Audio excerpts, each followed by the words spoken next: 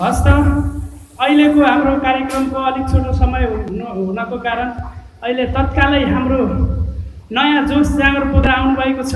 नृत्य प्रस्तुत गर्नको निमित्त कृष्ण खत्री उहाँलाई पनि हाम्रो स्टेजमा निमन्त्रणा गर्दै उहाँ तयारीमा हुनुहुन्छ। उहाँको गीतको बोल रहेको छ लौ लौ आयो लिलीलाई देखेर लैलै बाँकी उहाँबाटै हेरौँ। धन्यवाद। Али Бабак.